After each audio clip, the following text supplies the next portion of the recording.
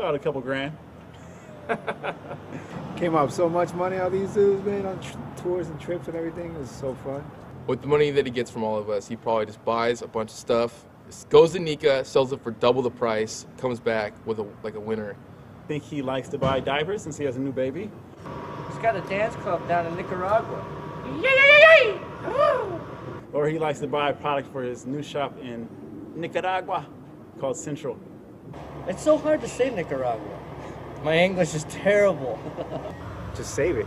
Just, you know, put in your pocket and try to gamble again, somebody else. You know, keep it going. Come up more.